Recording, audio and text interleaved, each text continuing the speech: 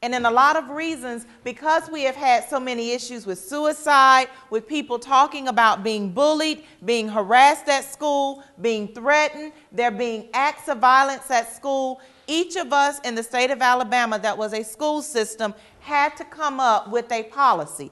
This was signed into law by Governor Bob Riley when he was back in, in office in 2009.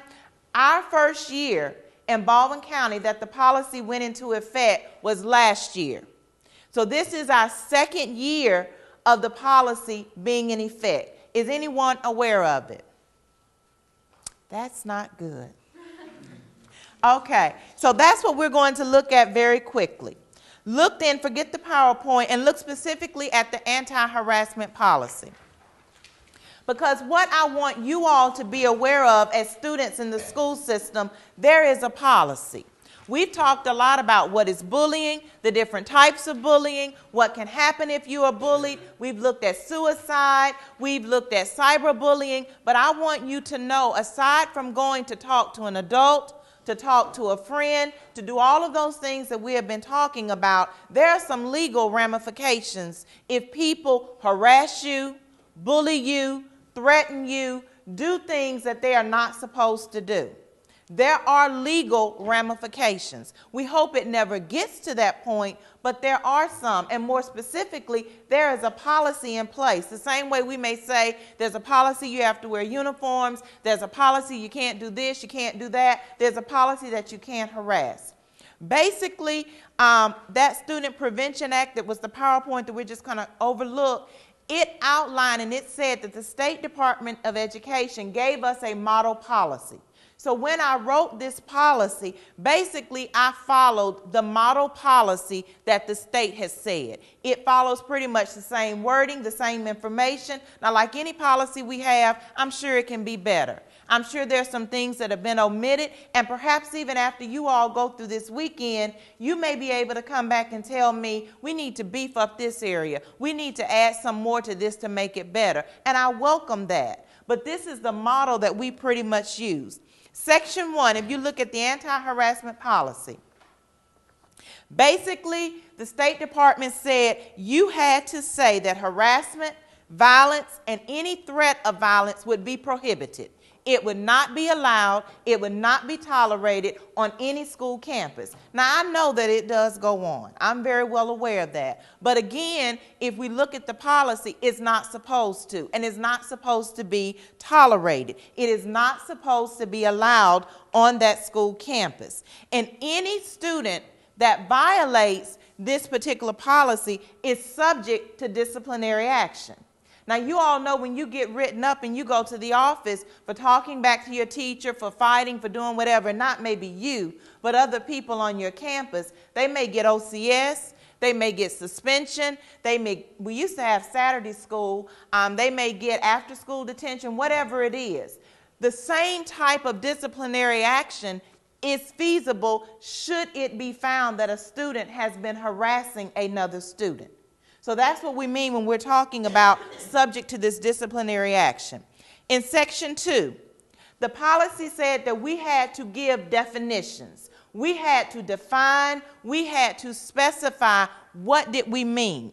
So specifically, what does the term harassment mean? We had to give a definition for that. And that's what you see in um, the letter A, the term harassment, as used in this policy, means continuous pattern of intentional behavior, and you can read the rest. It also stipulates to constitute harassment, a pattern of behavior may do any of the following. And you see that those bulleted items. So, the one thing that I want you to understand is when we talk about harassment, there is a definition. It has been outlined, it has been um, explained so that everyone knows this is what we mean when we say you cannot be harassed. Look on the second page. B talks about what is violence. What does violence mean? When we say violent acts will not be tolerated, that has been explained. When we say a threat of violence, that word has been defined. Intimidation, that word has been defined. Hostile environment, that word has been defined. So I want you to look at this when you get a chance, but understand that that was a part of what the state said. You had to go in and define each of these words so that everyone knows what it means, what you're talking about, and what those expectations are. And then specifically the term student, anybody that's enrolled in the Baldwin County Public School System, we know is a student. So you as students are not to be subjected to any of these things that are listed. Now, in section three, we had to give a description of the behavior that was expected of students. And this is listed in your code of conduct where we said that they are expected to be treated with courtesy, respect, dignity, and to comply with what is stated in the student code of conduct. But look at B. One of the things that we had to do in 3B is specifically say come up with a list of characteristics of things that would not be allowed. For instance, um, an exhaustive list so that when we're talking about harassment or you're bothering someone, you cannot bother them because of their race, because of their sex, because of their religion, because of their national origin, if they have a disability, if you turn the page, marital status, sexual orientation, and gender identity. Those were the list of things that we said a student cannot be harassed, cannot be bullied, cannot be any of these things based upon what's listed. Now, I've forgotten offhand, all of that was listed in the model policy, but I can't remember if it was sexual orientation or gender identity that I added. One of those two, and I just can't remember, was not necessarily in the model policy. But I knew that we needed it, and I wish I could remember which of those two. So, whichever one it is, our policy is somewhat different from others in the state because we've added or beefed up that one particular thing that others may not have. So when we're talking about bullying and what it is, and you can't be harassed, and all of those things that I've just explained, know that this is our list that we're saying you specifically can't be bullied or harassed based upon any of these things. Look at section four. There are consequences for your behavior. Now, again, we have not said step one, this is going to happen, step two, this is going to happen, because it depends upon the what you do. Sometimes the what you do, if it's bad enough, you can be expelled right off the bat.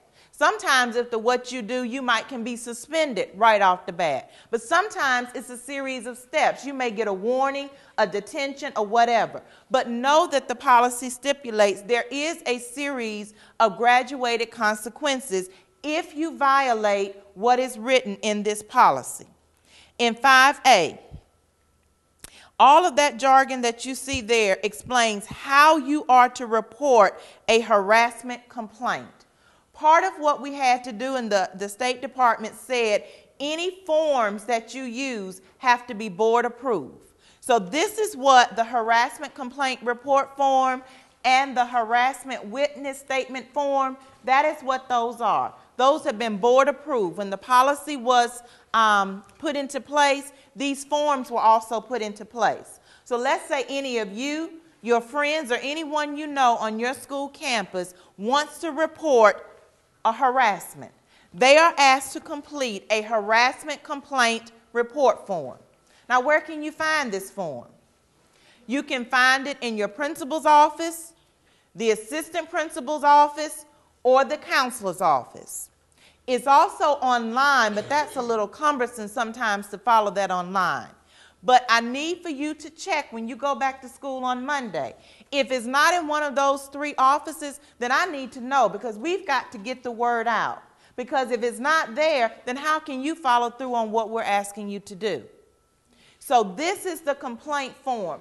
We ask that you fill it out like everything that we do in, in education. Everything is documented. But we have documentation that you've made a report, that you've made a complaint, and we have what it is. Nobody is supposed to see this except the administrator, and usually that's going to be the assistant principal that's dealing with the discipline.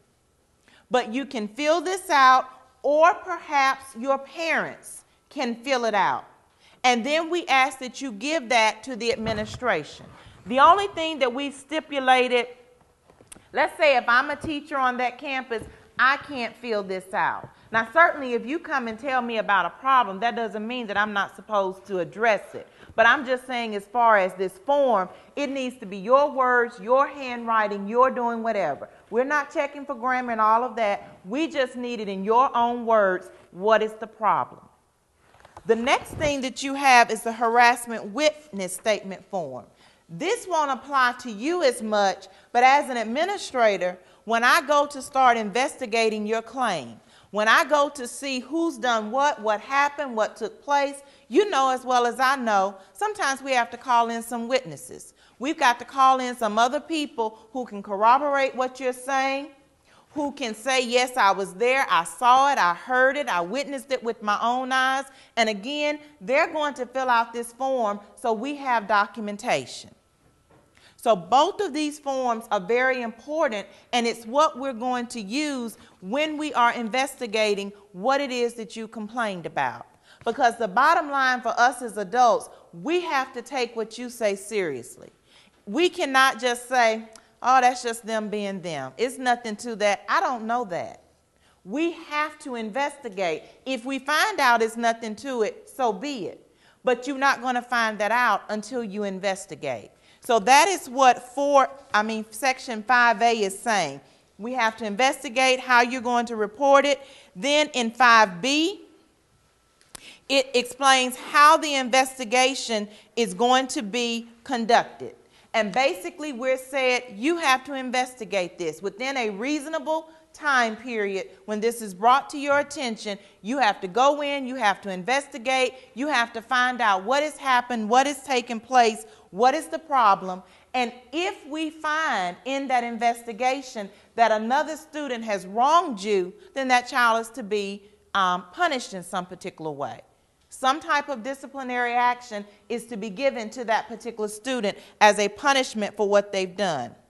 5C explains that you never know how sometimes you go and you tell or you complain, and then the person comes back and they want to retaliate. They want to get back at you because you've told on them, you've gotten them in trouble. 5C says you're not supposed to do that. If you retaliate, if you try to get back at someone, if you do something that um, is going against this policy, then that person can very well get in trouble again.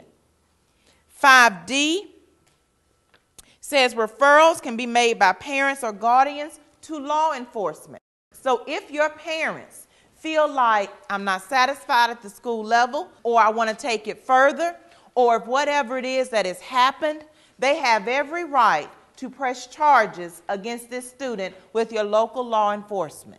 This is what the policy says.